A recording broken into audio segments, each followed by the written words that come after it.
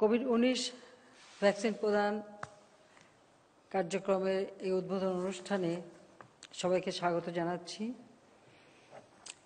এবং আমি সেই সাথে মহান রাবুল আলমিনের কাছে, আল্লাহর কাছে এটুকু শুক্রিয়া আদায় করি যে আমরা সময় মতো এই ভ্যাকসিনটা ক্রয় করতে পেরেছি, আনতে পেরেছি এবং তা আজকে প্রয়োগের মাধ্যমে আমাদের দেশের মানুষকে আমরা সুরক্ষা দিতে সক্ষম হব। আমি প্রম ধরে স্মরণ করছি সর্বকালের সর্বশ্রেষ্ঠ বাঙালি জাতির পিতা বঙ্গবন্ধু শেখ মুজিবুর রহমানকে তার নেতৃত্বে আমরা স্বাধীনতা অর্জন করেছি। এবং তিনি শুধু স্বাধীনতাই দেন নাই, মানুষের যে মৌলিক চাহিদাগুলি সেগুলি মেটাবার জন্য আমাদের সংবিধান দিয়েছিলেন মাত্র নয় মাসের মধ্যে। সেই সংবিধানেও এটা সুস্পষ্ট ছিল। এবং স্বাস্থ্যসেবা জনগণের দোরগোড়ায় পৌঁছে দেওয়ার জন্য তিনি একদিকে যেমন যুদ্ধবিধ্বস্ত বাংলাদেশ গড়ে তুলেছেন, সাথে সাথে প্রত্যেকটা একেবারে থানা পর্যায় পর্যন্ত। দশ হাজার বিশিষ্ট হাসপাতাল তৈরি করে। চিকিৎসা সেবা সারা বাংলাদেশের মানুষের দোরগোড়ায় পৌঁছে দেওয়ার পদক্ষেপও তিনি নিয়েছিলেন এবং তা বাস্তবায়নে শুরু করেছিলেন। এবং সেই সাথে সাথে স্বাস্থ্য সুরক্ষার অন্যান্য যে কাজগুলি থাকে, পরিবার পরিকল্পনা থেকে শুরু করে চিকিৎসা সেবা দেওয়া, সংক্রামক ব্যাধি থেকে রোধ করা, টিকাদান করা সব কিছুই তিনি শুরু করেছিলেন। এবং যারা মুক্তিযুদ্ধে আহত তাদের চিকিৎসার ব্যবস্থা আমাদের যারা বিশেষ করে যুদ্ধে যারা পঙ্গুত্ব বহন করছে তাদের চিকিৎসা, সব রকম ব্যবস্থা আমাদের নির্যাতিত মা বোন তাদের চিকিৎসা ব্যবস্থা, সবই তিনি কিন্তু এই অল্প সময় শুরু করেন। কিন্তু আমাদের দুর্ভাগ্য যে বাংলাদেশটাকে তিনি যেভাবে তৈরি করে রেখে দিতে চেয়েছেন সেটা পায়নি। তো আমাদের মনে রাখতে হবে, আমরা লাখো শহীদের রক্তের বিনিময়ে স্বাধীনতা পেয়েছি। আমরা তাদের সকলকে শ্রদ্ধার সাথে স্মরণ করে এটুকু বলব যে স্বাধীন সার্বভৌম বাংলাদেশ, এই বাংলাদেশের মানুষের মৌলিক অধিকারগুলি পূরণ করা এটা আমাদের কর্তব্য। এবং সরকার হিসেবে আমরা জনগণের সেবক, সেই সেবক হিসেবে আমরা নিজেদেরকে মনে করি। আর সেভাবে আমরা চেষ্টা করি মানুষের যে কোনো দুঃসময় মানুষের পাশে দাঁড়াতে এবং মানুষের জন্য কাজ করে যেতে।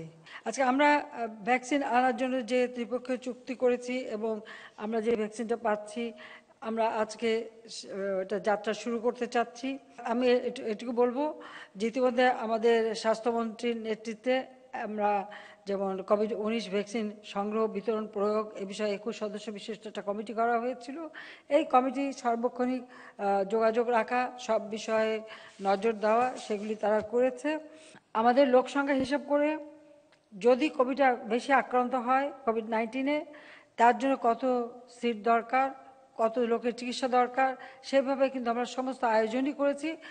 বাংলাদেশ আজকে এগিয়ে যাচ্ছে, আমি মনে করি এই মহামারী থেকেও বাংলাদেশ দ্রুত রক্ষা পাবে।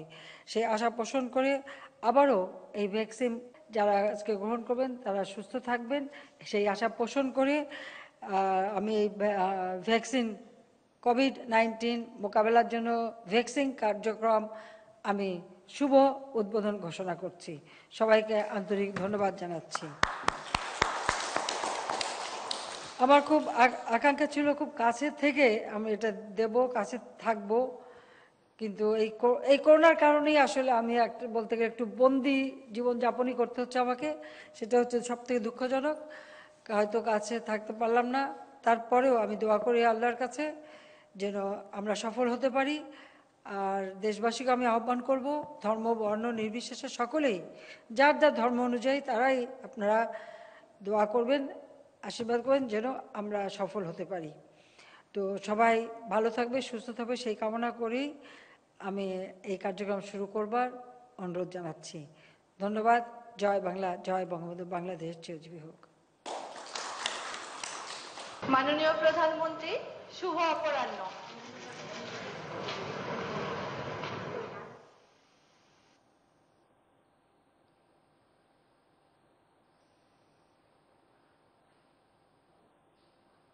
তোমার ভয় লাগছে না তো? শুনব এখান থেকে নাকি? খুব সাহসী তুমি।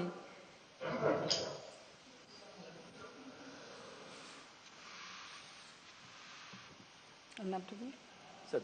Costa. Runu Runu Veronica Costa.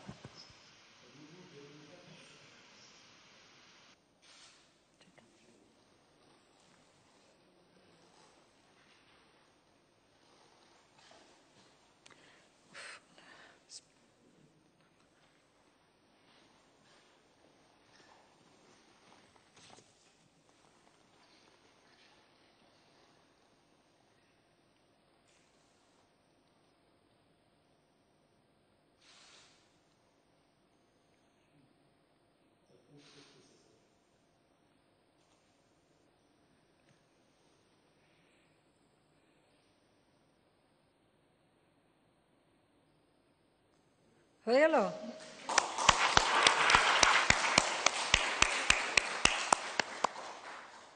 Ronu তোমাকে অনেক অনেক শুভেচ্ছা। তুমি সুস্থ থাকো ভালো থাকো আরও অনেক রোগীর সেবা করো। সেই দোয়া করি।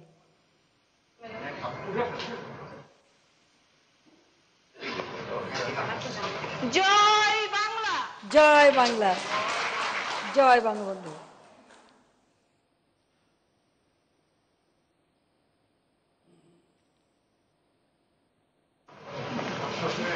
মাননীয় প্রধানমন্ত্রী আসসালামু আলাইকুম।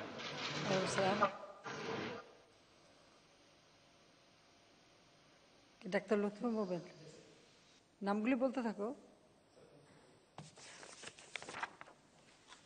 এই যে তোমার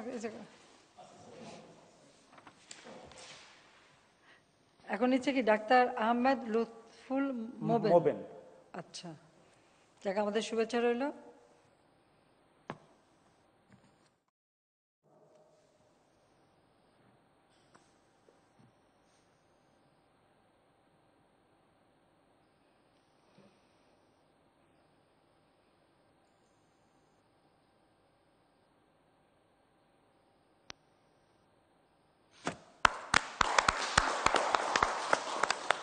যাকে আমাদের আন্তরিক অভিনন্দন এবং শুভেচ্ছা। যাক সুস্থ থাকো ভালো থাকো দোয়া করি। জয় বাংলা জয়। বাংলা। মোহাম্মদ দিদারুল ইসলাম। মাননীয় প্রধানমন্ত্রী আসসালামু আলাইকুম। যাক আমার শুভেচ্ছা নাও। যাক তো অনেক কাজ করেছে পুলিশ এত সার্ভিস দিয়েছে যে তা বলার মতো না। অনেক সাহসী পদক্ষেপ নিয়েছে। আগে থেকে- খুলে রেডি করে আনবে না?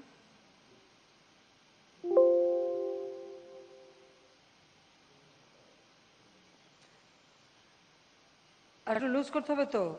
মাসালের যেন চাপ না পড়ে।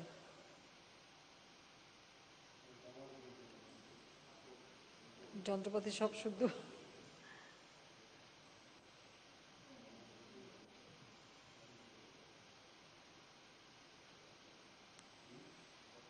ভয় লাগছে না তো? ঠিক আছে? ঠিক আছে। আচ্ছা।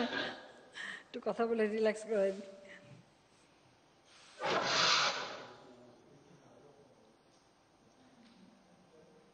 ও হয়ে গেল।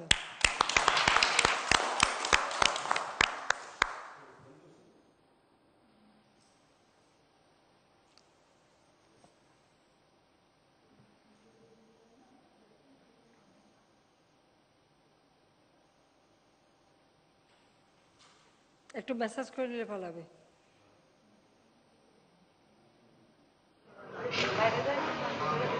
ধন্যবাদ মাননীয় প্রধানমন্ত্রী একটু সুযোগ করে দেওয়ার জন্য। আমি দেশ ও জনগণের সেবক হিসাবে নিজে করোনা ভ্যাকসিন দিয়ে উদ্বুদ্ধ করতে চাই জনগণকে উদ্বুদ্ধ করতে চাই। জয় বাংলা জয় বঙ্গবন্ধু। জয় বাংলা। সুস্থ থাকো ভালো থাকো দোয়া করি। এবারে brigadier general M Imran Hamid. Bangladesh সেনাবাহিনী।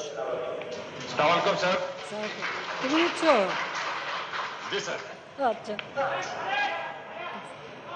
এই জামা টামা খুলে আগে থেকে রেডি হয়ে আসা উচিত ছিল না? একটা শল দিয়ে চাদর দিয়ে হাতটা পুরো খুলেই করে নাও। হ্যাঁ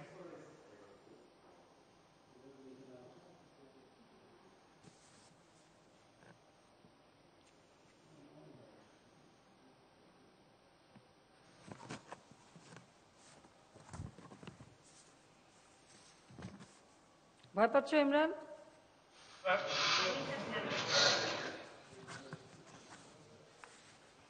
হয়ে গেল।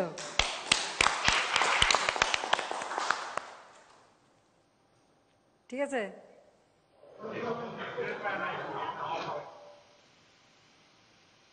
আমাদের আমরা আমরা যে নিয়ে আসি। শেষে আগে আগে নিলে বলবে যে আগে নিয়ে নিজেই নিল কাউকে দিল না। সবাইকে দিয়ে নি তারপরে।